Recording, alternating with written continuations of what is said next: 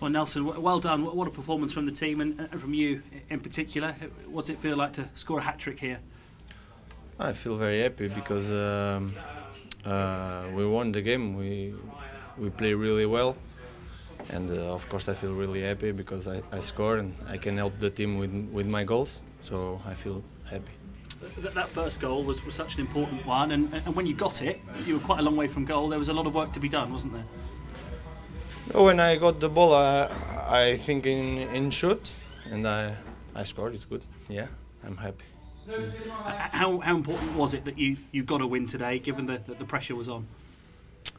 It's good because uh, even in the last game we we play well. We should win against Brentford, and uh, now we know this is important game. It's important to start the new year with a, a good performance, with a good result.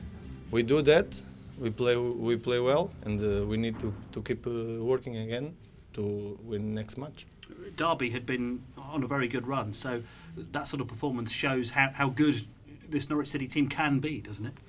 Yeah, I think uh, Derby in the last ten games they they put uh, eight clean sheets and they won a lot of games, and uh, we scored three three goals against them. We we won comfortably, so I think uh, we play really well, really really well. You're on a, a good run of form at the moment, scoring lots of goals. How much are you enjoying playing for Norwich City?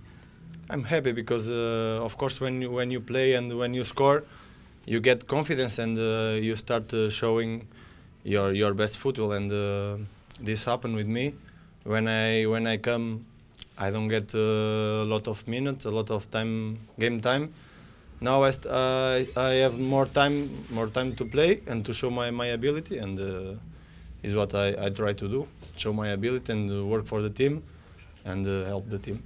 And the fans, they've really taken to you, haven't you? You got a wonderful round of applause when you left the pitch today. That that must be particularly special. Yeah, I feel happy because uh, it's mean that uh, I do I do a good job, and uh, they are happy because in the final we we work for us, we work for our families, but uh, we work as well for for keep the fans happy, and uh, it's good because they they can enjoy the game, a good performance from the team, and it's good.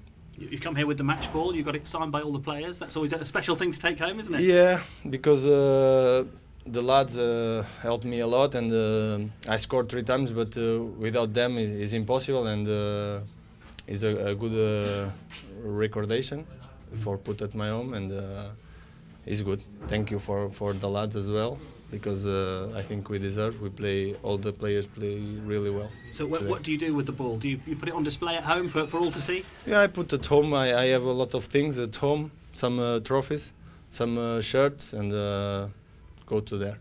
How many match balls have you got there? When, when was your last hat trick? I think it's my second hat trick. The last one is a long time ago.